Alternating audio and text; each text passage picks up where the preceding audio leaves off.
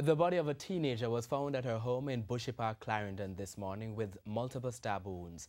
As TVJ's Shamela Mitchell now reports, the news has plunged the entire Clarendon College family, where the teen was a student, into mourning.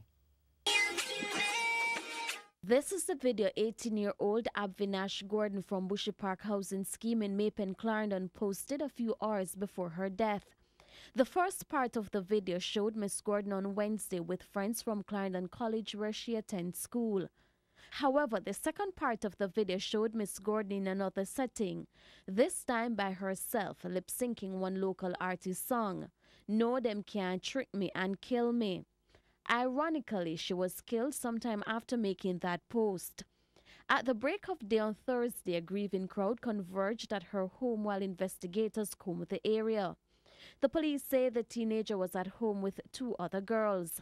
The girls, who were in a separate room, reported hearing strange sounds followed by screams coming from Miss Gordon's room sometime after 2 this morning. The police were called and Miss Gordon's body was found in her home with stab wounds. My heart goes out for the family um, who are mourning this young girl today. I've learned that she's a very young girl, just finished school and on her way to university. And the enemy have come and snatched her life away, her future, her destiny, and her purpose. And it's so saddening, you know. It's saddening when you have to console uh, a, a, a mother who lost a child. Guidance counselor Rosemary Thompson Tucker says students have been in a somber mood since hearing of the incident. I know that they are very sad at this moment, but I say to them if they must mourn, then mourn. We will be providing support for them. We will be calling to Region 6 for the trauma team to come out to assist us with counseling with them. But if they must cry, then they should go ahead and cry.